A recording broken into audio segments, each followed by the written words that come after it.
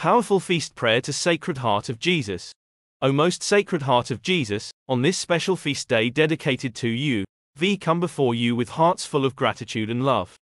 You, who are the source of mercy and compassion, we adore you and seek your divine grace.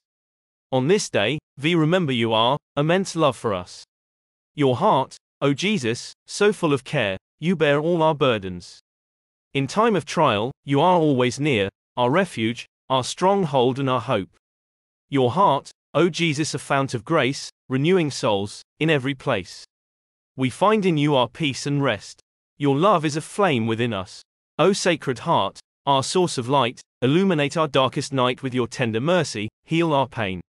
In your embrace we are born again. We acknowledge our unworthiness and shortcomings, and we humbly ask for your forgiveness and mercy.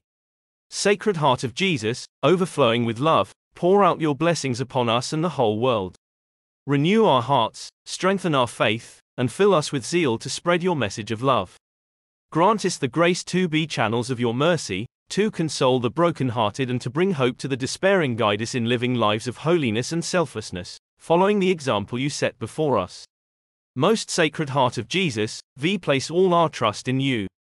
In your infinite goodness, hear our prayers, grant our petitions, and shower us with your abundant grace. On this feast day, we consecrate ourselves to your Sacred Heart, and we seek to be united with you in every moment of our lives.